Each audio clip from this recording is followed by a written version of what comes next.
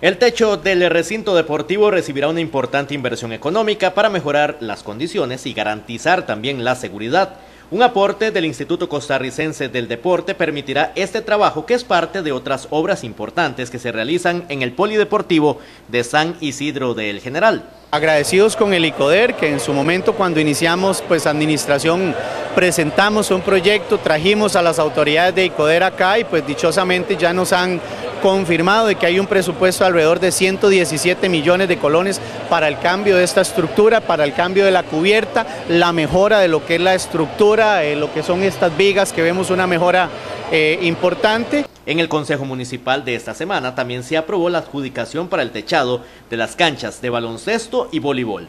Este, a eso se suma pues el techado de las canchas que ya esta semana pues fue adjudicado eh, por el Consejo Municipal, una inversión de casi 90 millones de colones para poder techar las canchas externas que tenemos aquí cercano a la soda, que nos va a permitir pues en época de invierno, en época de verano, pues tenerlo para la ciudadanía en general y para la parte también de preparación precisamente nuestros muchachos. Todas estas obras, más lo que se está haciendo en el estadio municipal, es parte de un proyecto que busca impulsar el deporte en nuestra zona. Todo eso es parte de un proyecto integral que, que en su momento propusimos al Consejo Municipal y que ellos acogieron eh, de muy buena forma pues el hecho de que se haya gestionado un crédito para esa inversión en la infraestructura deportiva y recreativa de nuestro cantón. La idea es que el polideportivo de Pérez Celedón siga mejorando en un año que se cumplen 60 desde la fundación del Comité Cantonal de Deportes y la Recreación de Pérez Celedón.